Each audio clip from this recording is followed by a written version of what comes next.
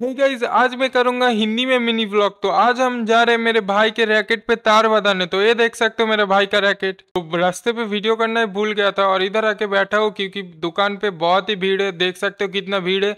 और मेरा बाइक सामने पार्क किया है और मैं बाइक पे फिर से बैठने जा रहा हूँ क्योंकि दो घंटे से उधर ही बैठा हूँ मैं।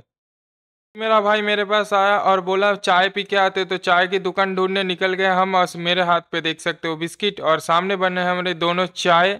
फिर चाय पीने के बाद फिर से आ गए दुकान पे अभी भी हमारा बड़ी नहीं आया क्योंकि बहुत ही भीड़ था। और देख सकते हो मेरे आँख बंद हो जा रहा है क्योंकि बहुत ही नींद आ रहा है। मुझे फिर भी खुला रखना पड़ा है। हमारा बैट अभी भी नीचे खुला पड़ा है। फिर जैसे तैसे ठीक करने के बाद निकल गए एक्वेरियम फ़िश के लिए फ़ूड ढूँढने और सामने देख सकते हो क्लॉक टावर इसके पास ही है दुकान। इधर से फ़ूड खरीदने के बाद सीधा घर आ गया। मैं एक्वेरियम फ़िश को फ़ूड देता हूँ। आप लोग ऐसे मिनी ब्लॉग देखने के लिए मेरे चैनल को सब्सक्राइब कर देना।